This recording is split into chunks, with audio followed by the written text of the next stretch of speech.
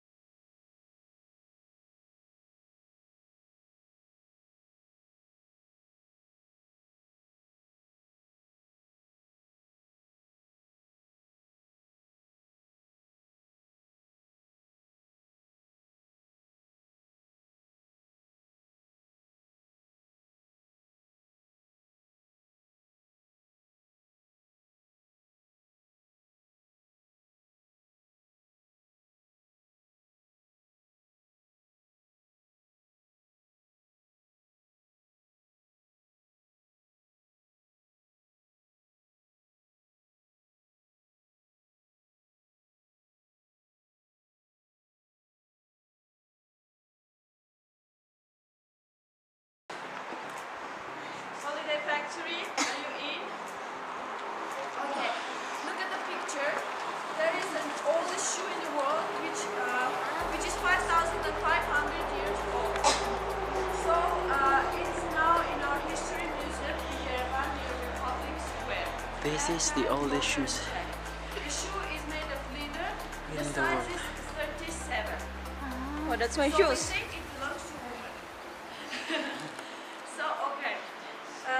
3